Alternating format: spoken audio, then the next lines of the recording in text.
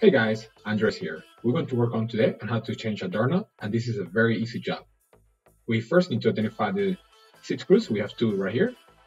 The behind the door, we have two more. And then we're going to have the last two on the door frame. The tools that we're going to need for this job is pretty much a new doorknob, a screwdriver, or a drill gun. Now we're going to open our new doorknob and you should find here everything you need to be able to assemble this.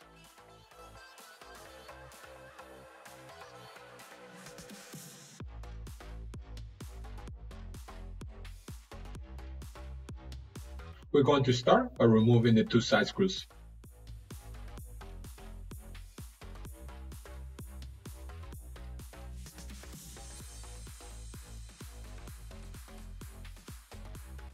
Next, we're going to remove the two screws in the back.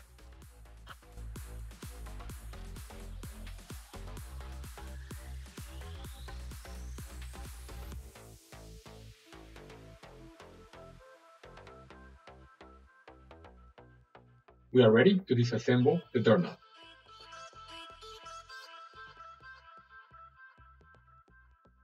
Let's remove the last two screws from the door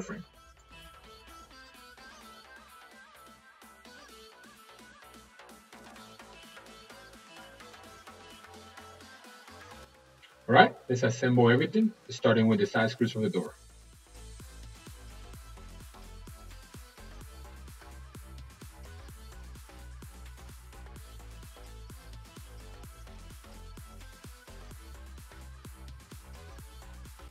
Now we're going to insert the front of our doorknob.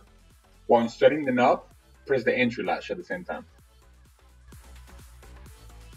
At the same time, we need to make sure that the back of our doorknob holes line up with these holes right here.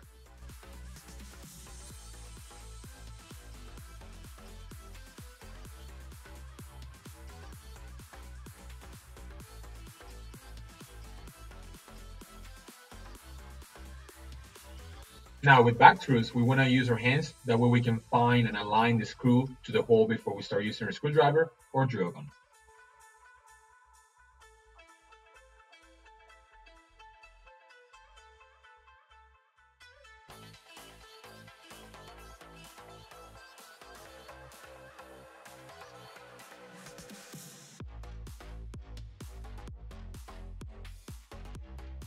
Using our new blade, now it's time to put our screws back into the door frame.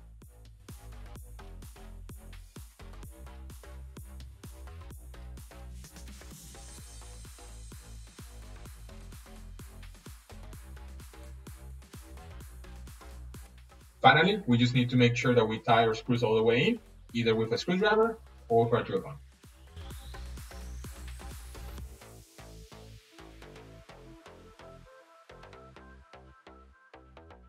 We just need to test the door, make sure that the lock works and the door opens smoothly. And we can also try the keys that came with this door knob.